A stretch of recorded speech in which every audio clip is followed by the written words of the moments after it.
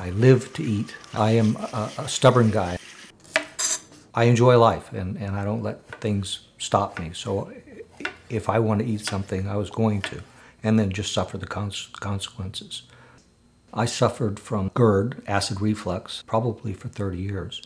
Um, and it was really horrible. It feels like your chest is on fire. It's typically triggered by uh, acidic foods like orange juice and occasionally coffee and wine and uh, spicy things. I'm married an Italian.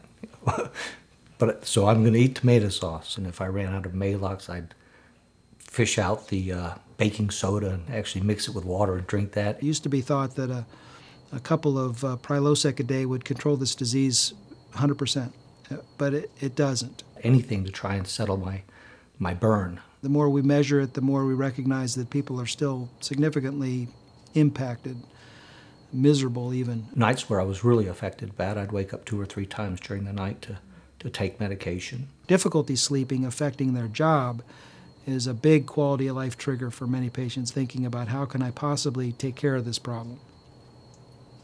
The normal human body has a barrier between your stomach and your esophagus. The lower esophageal sphincter, or the valve at the other end of the esophagus, kind of like a sphincter at your mouth. A sphincter is just a round muscle. That normally keeps acid out of the esophagus. The barrier breaks down is the fundamental problem. The sphincter gets weaker and weaker and shorter.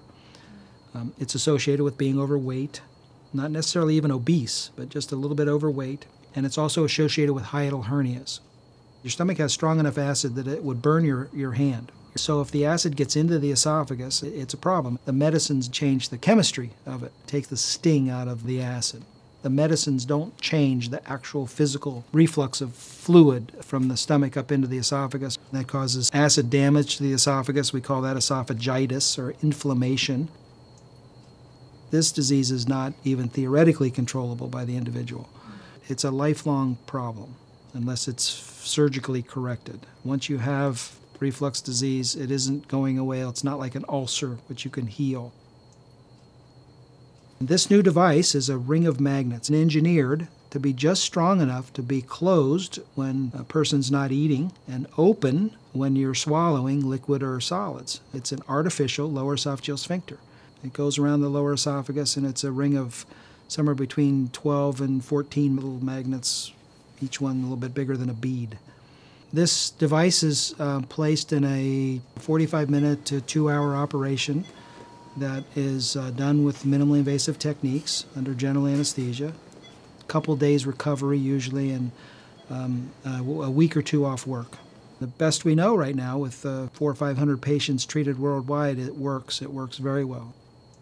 After the surgery, when I ate, sometimes the magnet didn't want to open and it would cause some pain.